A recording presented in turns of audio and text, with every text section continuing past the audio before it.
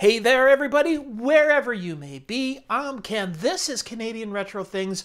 Welcome. Today, it's time to take a look at my very first MSX computer and hopefully get it working.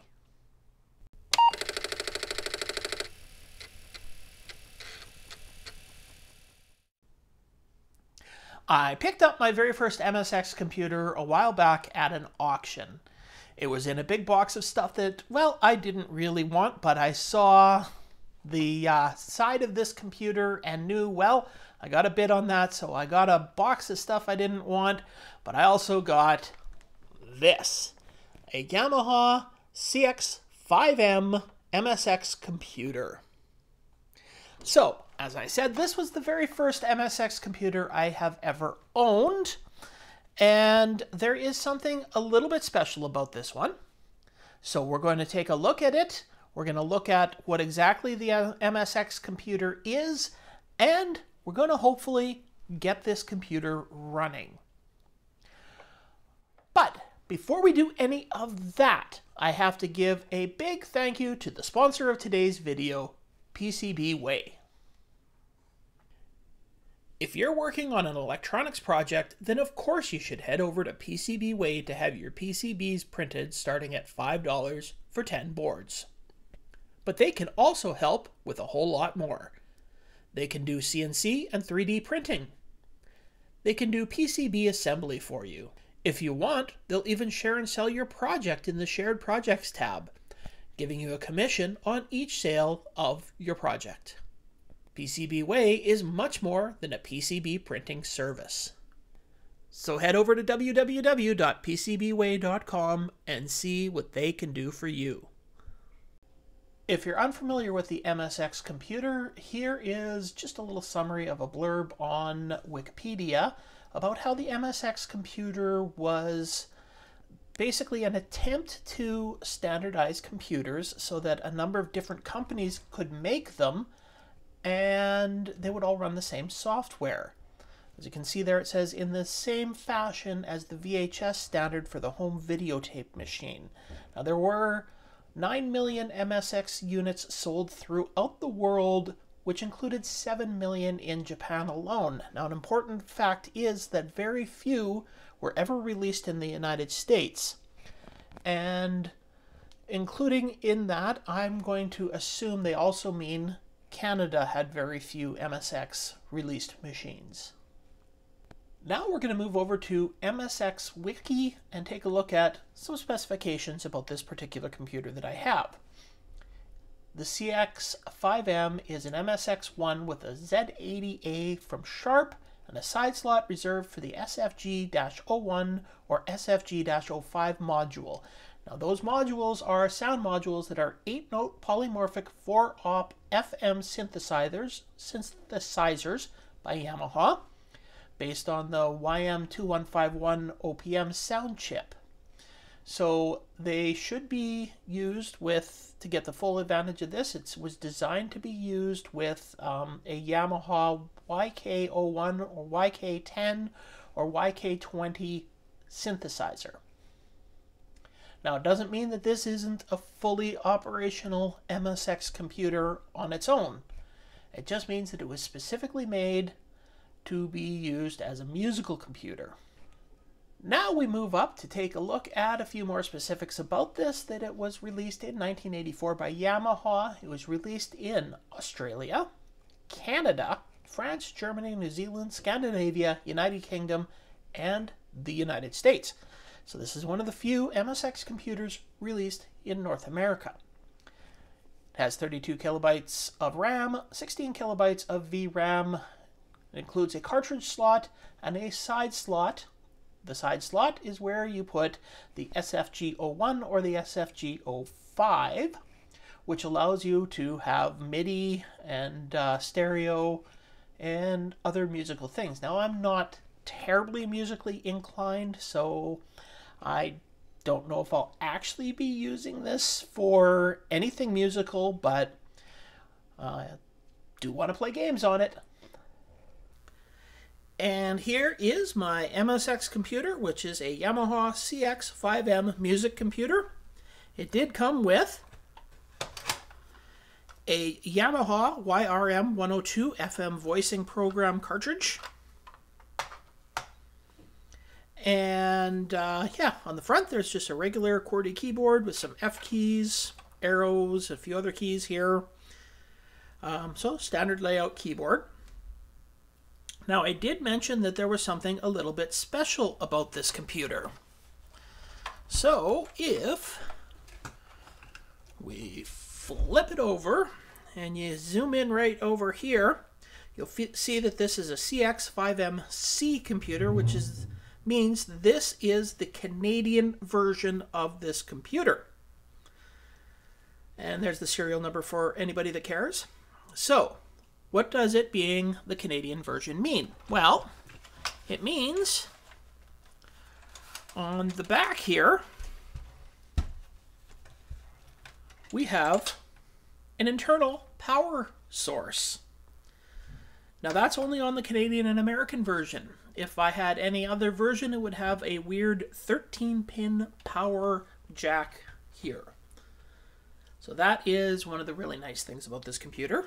It has a monitor port, which is a 5-pin monitor port, which will use the same uh, cable. It's got the same pinout as the C64 composite cable. Cassette port here, a printer port.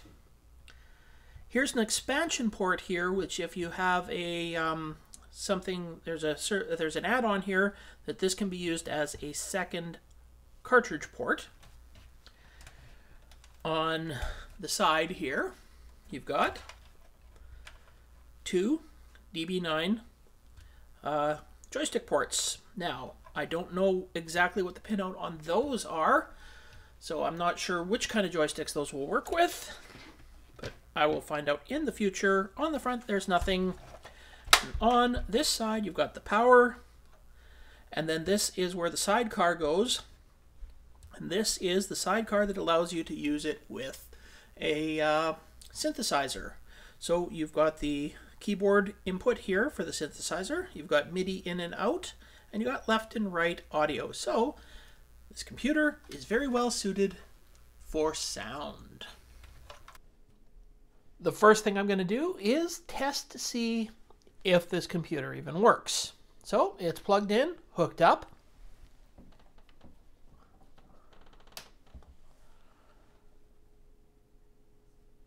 Okay, a good sign and a bad sign. The power light's coming on, and we're getting a blank blue screen. The first thing I'm going to do is take out that MIDI um, expansion and see if maybe that's the problem before I start taking this computer apart.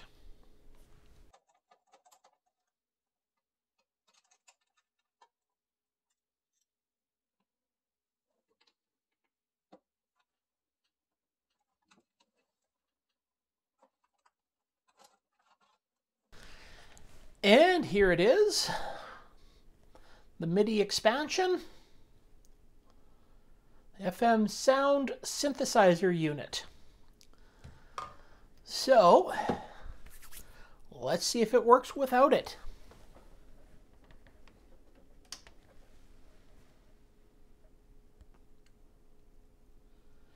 Same blank screen. Well, I guess that means it's time to start taking this computer apart. I've taken apart a few computers from this era, and I have to say that this is probably one of the more complex ones. Uh, the top case is two separate pieces, so the keyboard is part of it, and the surround, and then the top cartridge port is a separate piece.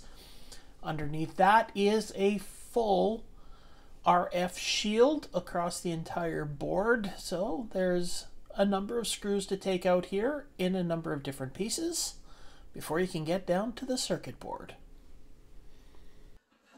The first thing we're going to be checking here is that we are outputting the proper power into the board.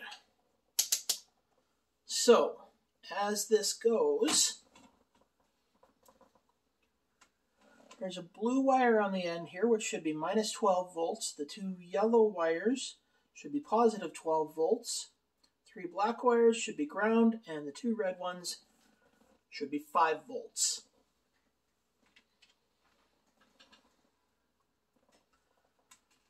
So, we'll give it some power and start testing stuff.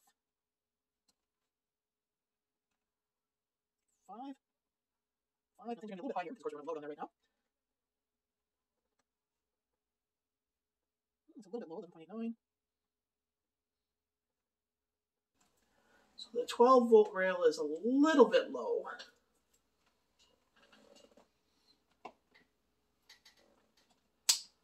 I don't think that's too worrisome.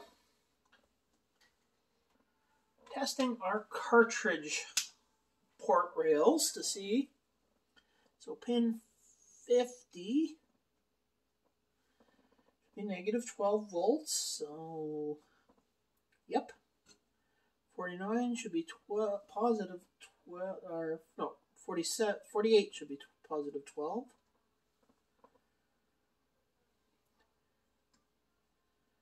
Forty-seven should be five, I believe. Forty-five should also be five.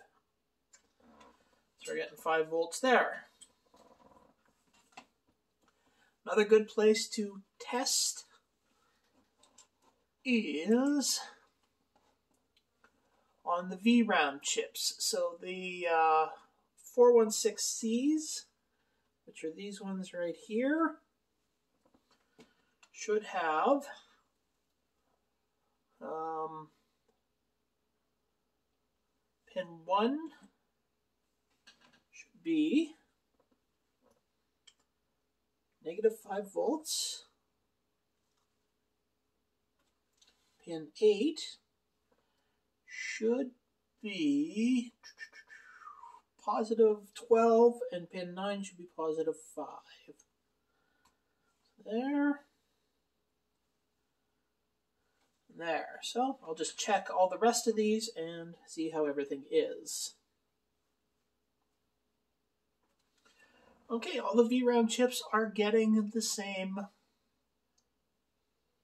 um, voltages. Now we can check the RAM. Should have a positive 5 volts on pin 9, which uh, that's these four here, which are the uh, 81416s.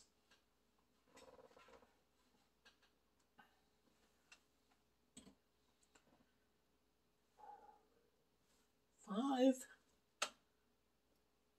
We are getting 5 volts. Okay, well, we're not having any power problems on here. So that is not the problem. Everywhere I've checked on the board is getting the proper power. I now have my little portable oscilloscope hooked up and am ready to start testing some lines. So the first thing we are going to start with is the RAM and see if we have any data output. So we should have data output on lines 2, 3, 15, and 17.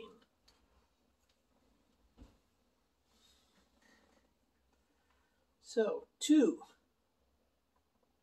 check. 3, check.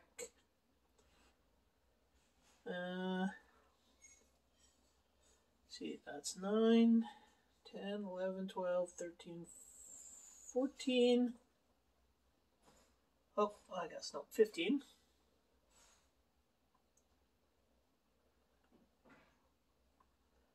Yes, there, 15 finally. And 17. So we are getting data output.